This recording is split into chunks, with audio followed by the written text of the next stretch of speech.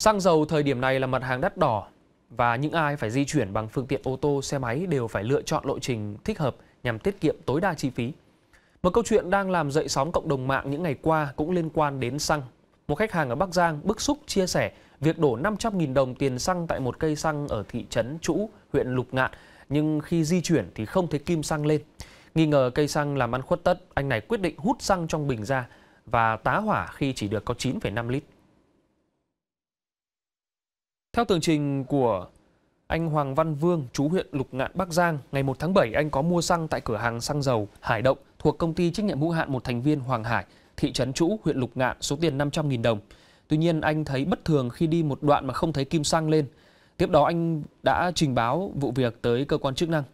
Đại diện đội quản lý thị trường số 5, Cục Quản lý Thị trường tỉnh Bắc Giang cho biết đã tiếp nhận vụ việc. Đơn vị này phối hợp với cơ quan chức năng huyện Lục Ngạn làm việc với anh Vương và chủ cây xăng. Qua 3 lần đo thử, kết quả kiểm tra trong bình xăng của anh Vương có 9,5 lít xăng. Với kết quả như vậy, đại diện cây xăng đã tự nhận trách nhiệm và xin lỗi anh Vương, đồng thời xin được trả lại 500.000 đồng tiền mua xăng cùng chi phí tháo hút xăng. Tuy nhiên, anh Vương không đồng ý, mời công an vào làm việc và lập biên bản.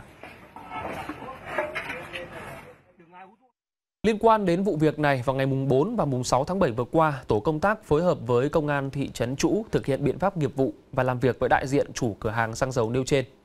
Đại diện cửa hàng xuất trình đầy đủ giấy tờ liên quan.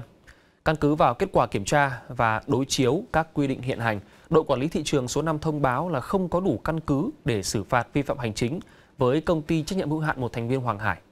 Còn một lãnh đạo Ủy ban nhân dân tỉnh Bắc Giang thì cho biết đã chuyển nội dung vụ việc cho lãnh đạo Ủy ban nhân dân huyện Lục Ngạn để xem xét xử lý nghiêm theo quy định.